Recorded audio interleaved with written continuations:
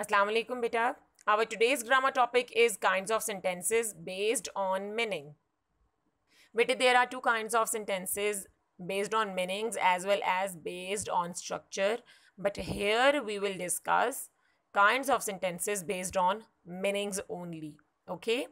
So let's discuss the definition of sentence that a sentence is a group of words that expresses a complete thought sentence ऐसे बामायनी अल्फाज का मजमु होता है बच्चे, जो कि हमारी बात को, हमारे ख्याल को मुकम्मल तौर पर वाजे कर दे, ठीक है? It always begins with a capital letter and ends with a full stop question mark और exclamation mark depending upon the type of sentence which we are reading okay depend करता है कि वो सेंटेंस कौन सा है। अगर वो सिंपल स्टेटमेंट होगी तो वो फुल स्टॉप एंड हो जाएगा, कोई क्वेश्चन होगा तो उसके एंड पे ऑब्वियसली क्वेश्चन मार्क आएगा। अगर कोई एक्सक्लेमेटरी सेंटेंस होगा तो उसके एंड पे एक्सक्लेमेशन मार्क आएगा। ठीक है? तो यही तमाम काइंड्स हम लोग आगे डिस्कस करते हैं। बेटे फ़र्स्ट वन इज़ एजर्टिव और declarative sentences second is interrogative इसको इंट्रोगेटिव भी बोलते हैं। Third is imperative and fourth one is exclamatory sentences. I'm repeating all these uh, kinds do listen their pronunciation assertive or declarative sentences interrogative or interrogative sentences imperative sentences and exclamatory sentences.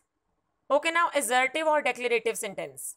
A sentence that states or declares something is called an assertive or declarative sentence. Now, what does this word declare or assert means? बेटा declare करने का मतलब होता है कोई बात बता देना ठीक है कोई अनाउंसमेंट कर देना बस कुछ बता देना ठीक है तो असर्टिव या डेक्लेरेटिव सेंटेंसेस वो सेंटेंसेस होते हैं जिनमें हम लोग कोई बात कोई स्टेटमेंट सिंपल बता दें ठीक है हम उसको कोई क्वेश्चन ना पूछें हम उसमें कोई किसी को दुआ ना दें हम उसमें कोई ताजुब ना ज़ाहिर करें सिंपल एक स्टेटमेंट जो है वो क्या है? एजर्टिव या डिक्लेरेटिव सेंटेंस होती है। Now this assertive sentence is also further divided into three kind first one is affirmative second is negative and third one is emphatic sentence now affirmative sentences are those sentences बेटा which are simple positive statements जिनमें simply कोई एक आम सी बात बताई गई होगी, कोई क्वेश्चन नहीं होगा, किसी बात से मना नहीं किया होगा।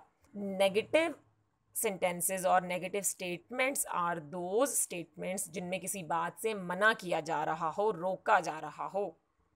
And emphatic sentences are those sentences in which we are delivering a forceful statement मतलब कोई किसी काम के बारे में ज़ोर देकर कोई बात की जा रही हो तो वो एम्फेटिक सेंटेंसेज में आता है।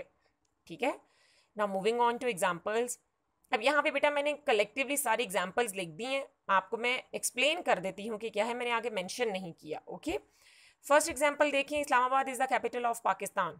Islamabad, Pakistan का कैपिटल है दारुलखलाफा है, ठीक है? सिंपल सी बात है, इसमें कोई ऐसी एम्बिगविटी नहीं है, कोई क्वेश्चन नहीं है, कोई विश नहीं है, कोई एक्सक्लेमेशन नहीं है ओके तो ये क्या है simple affirmative sentence the hunter shot the deer also another example of affirmative sentence I haven't written a letter. Now this have not is showing a negative statement कि मैंने एक लेटर नहीं लिखा।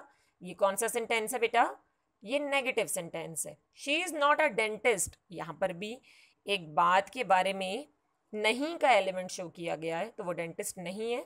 ये सेंटेंस की कौन सी काइंड है? Negative I do learn my homework daily अब यहाँ पे देखो कि मैं अपना काम रोज़ाना याद करता हूँ। अब ये डू लर्न का जो वर्ड है ना बेटे, ये फोर्स को शो कर रहा है कि हम लोग इस बात पर थोड़ा सा ज़ोर दे रहे हैं, ठीक है?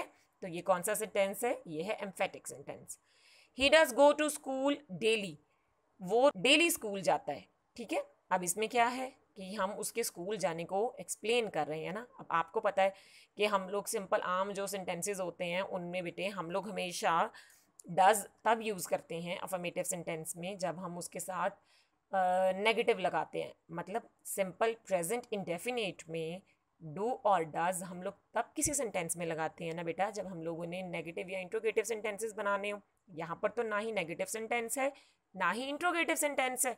He does go to school daily now here this does is showing us that we are focusing on his going to school daily हम इस पे फोर्स कर रहे हैं, हम ज़ोर देकर ये बात एक्सप्लेन कर रहे हैं तो ये क्या है?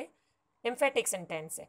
Similarly he does learn his lesson well कि वो अपना सबक अच्छे से याद करता है। यहाँ पर भी हम लोग उसके सबक को अच्छे से याद करने को बड़ा ज़ोर देकर बता रहे हैं, ठीक है?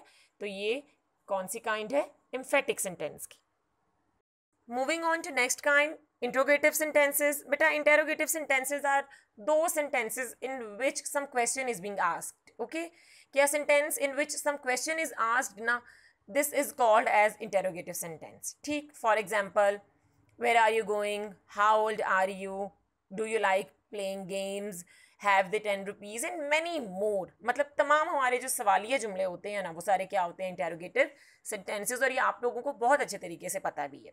Quickly moving on to next kind which is imperative sentences बेटे इम्पेरेटिव सेंटेंस ऐसा सेंटेंस होता है जो कि हमारी किसी कमांड को हमारी कोई रिक्वेस्ट को या हमारी किसी से कोई एडवाइस uh, उसको कोई की जाने वाली नसीहत को शो करे okay this kind of sentence shows express a command an advice और a request okay for example stop talking here stop talking is a command don't go there again don't go there is a command Shut that window वो खिड़की बंद कर दो. This is a command also. Now, moving on to fourth example. Please give me your book. अब ये please give me your book में क्या है? There is an element of request ना? ठीक है? तो ये रिक्वेस्ट है। नेवर टेल आ लाए कभी झूठ मत बोलो। ये हम किसी को नसीहत करेंगे या कोई हमें नसीहत करेगा। ठीक है? ये एक नसीहत का जो सेंटेंस है ना ये भी इंपेरेटिव में आता है। इसी तरह always respect your elders always love your youngers इस तरह की जितनी एडवाइस वाले सेंटेंसेज होते हैं रिक्वेस्ट वाले सेंटेंसेज होते हैं, और जितने कमांड्स होती हैं ना बेटा, वो सारे इंपेरेटिव सेंटेंसेज में इंक्लूडेड होते हैं। Okay now last kind is exclamatory sentences I am repeating the pronunciation and that is exclamatory sentences.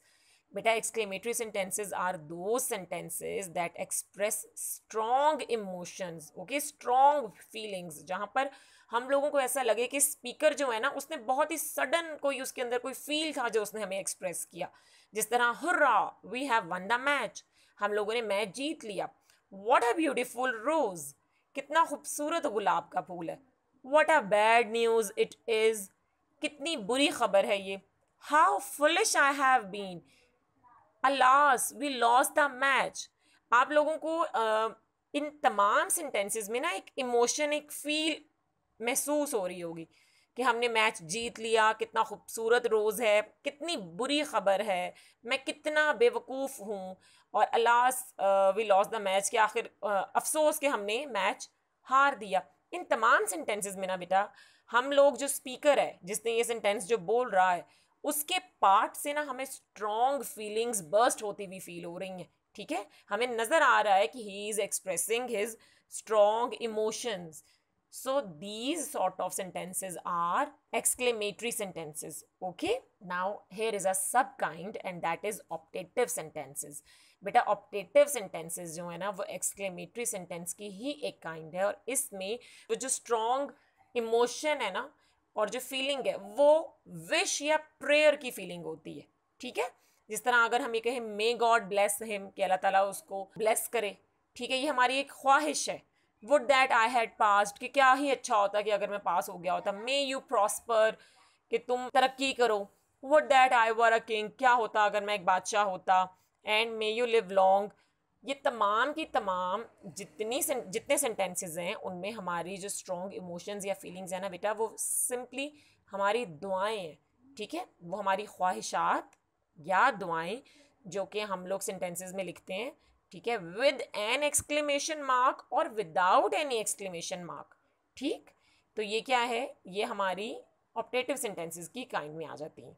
Now moving on to your assignment बेटे आप लोगों की ग्रामर वर्कबुक का जो एक पेज है आप लोगों ने उसी के ऊपर सॉल्व करना है और प्लीज़ अपनी ग्रामर वर्कबुक की जितनी डिस्क्रिप्शन है, उसको ट्वाइस तो ज़रूर पढ़ा करें। उसके बाद बेटे ओएमई के लेसन का जो अगेन सी पोर्शन होता है एक्सरसाइज सी होती है, उसको आप लोगों ने बुक पर ही सॉल्व करना है विद लेड पेंसिल ओके अल्लाह हाफिज़।